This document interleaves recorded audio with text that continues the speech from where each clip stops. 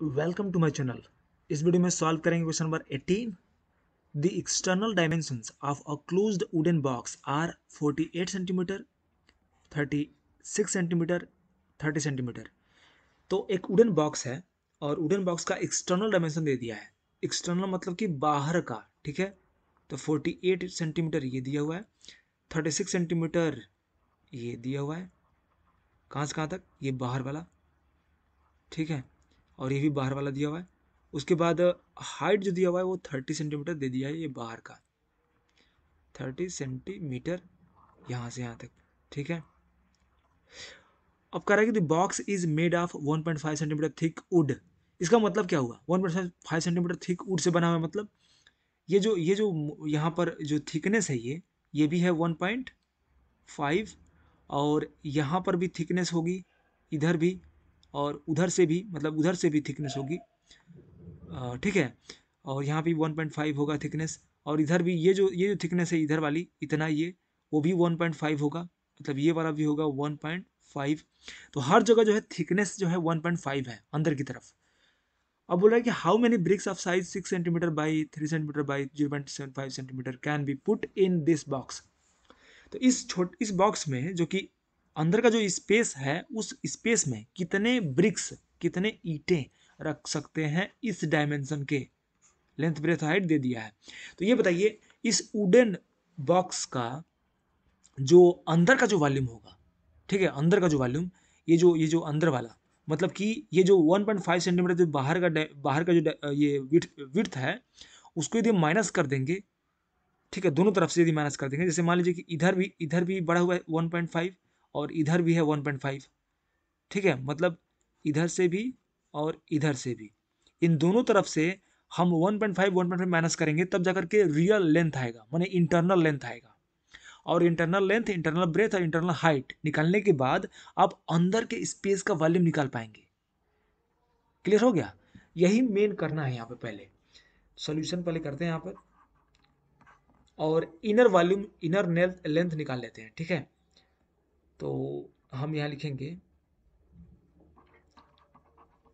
inner length of the internal लिखते हैं, सही रहेगा इंटरनल ओके एक्सटर्नल दिया हुआ है यहाँ पर, आपको निकालना होगा इंटरनल तो इंटरनल लेंथ जो होगा, वो बराबर होगा एक्सटर्नल में से जब माइनस करेंगे एक्सटर्नल लेंथ में से माइनस करेंगे two times one point five two times one point five मतलब कि वन पॉइंट फाइव दोनों तरफ़ से माइनस होगा ना, क्योंकि विर्थ ने जो इसका चौड़ाई है, वो दोनों तरफ़ से खत्म हो रहा है, दोनों तरफ़ से उड है है कि नहीं? तो ये एक्सटर्नल लेंथ में से two into one point five करेंगे मीन्स थ्री सेंटीमीटर माइनस कर देंगे। मतलब ये हो जाएगा कितना? एक्सटर्नल लेंथ कितना है? फोर्टी एट है। फोर्टी एम माइनस कर देंगे थ्री मिल जाएगा आपको फोर्टी फाइव आपको मिल गया forty five centimeter length internal length अब हम क्या करेंगे इंटरनल क्या करेंगे? ब्रेथ निकालेंगे। इंटरनल ब्रेथ जो होगी, वो होगी एक्सटर्नल यहाँ पर जो हमारे पास ब्रेथ है, इसमें से माइनस कर देंगे टू टाइम्स 1.5 वही काम करेंगे जो वहाँ पे गए थे। तो यहाँ पे क्या हो जाएगा, देखिए ब्रेथ कितना दिया है? बाहर का। वो दिया है 36 ये रहा। ठीक है, ये है 36 में से माइनस कर देंगे थ्री और ये निकलेगा आपका थर्टी थ्री सेंटीमीटर ओके अब हमें निकालना है sorry internal height internal height निकालेगा तो एक्सटर्नल हाइट में से माइनस करना पड़ेगा two times one point five.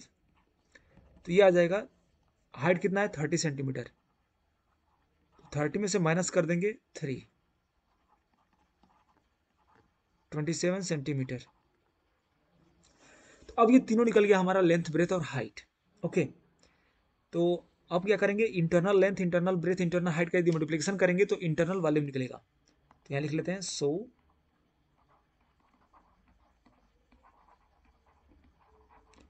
internal volume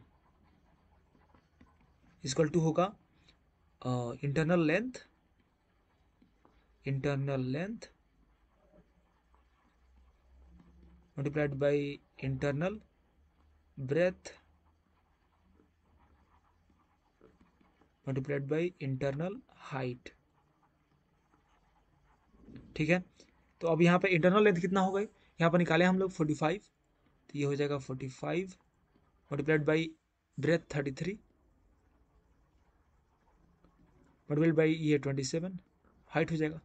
तो ये तीनों मिला करके इतना क्या हो जाएगा? सेंटीमीटर क्यूब ये वॉल्यूम है मल्टीप्लाई मत करिएगा कभी भी। क्योंकि मल्टीप्लाई कर देंगे तो आपको टफ हो जाएगा और सॉल्व करना आसान नहीं रहेगा। अब क्या करेंगे? अब करना क्या है कि हमें एक ब्रिक का, एक ब्रिक का वॉल्यूम निकाल लेना है। क्योंकि नंबर ऑफ़ ब्रिक्स निकालना है। तो नंबर ऑफ़ ब्रिक्स जब भी निकालना हो ना, कि कितने उसमें रखे जा सकते हैं आपको उस नंबर ऑफ़ ब्रिक्स का वॉल्यूम निकाल लीजिए और जिसमें रखना है उसके वॉल्यूम में डिवाइड कर दीजिए। यही करना होता है। तो हम निकाल लेंगे पहले volume of volume of one brick volume of one brick हो जाएगा लेंथ ब्रेथ हाइट मतलब six into three into zero point seven five ठीक है? अब यहाँ मल्टीप्लाई करें सिक्स जा एटीन हो जाएगा एटीन फाइव जा।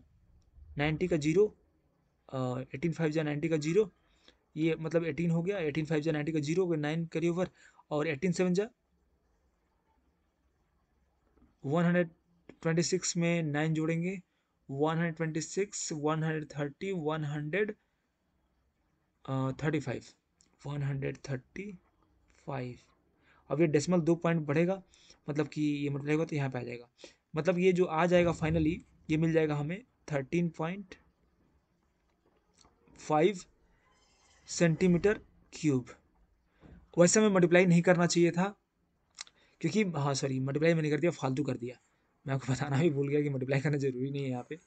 आप डायरेक्टली बस क्या करो ना, कि इसको लिख लो ऐसे ही वॉल्यूम को। मतलब कि लिख लो आप six into three into zero point seven five इतना सेंटीमीटर क्यूब अब निकालना है हमें number of bricks number of bricks that can be that can be put in put in the given box तो गिवन बॉक्स में जितने number of BRICS रखे जा सकते हैं, वो होगा volume of volume of internal volume sorry हाँ। यहाँ पे आपको लगाना पड़ेगा internal volume of the box. Internal volume of the box. Whole upon. Volume of one brick.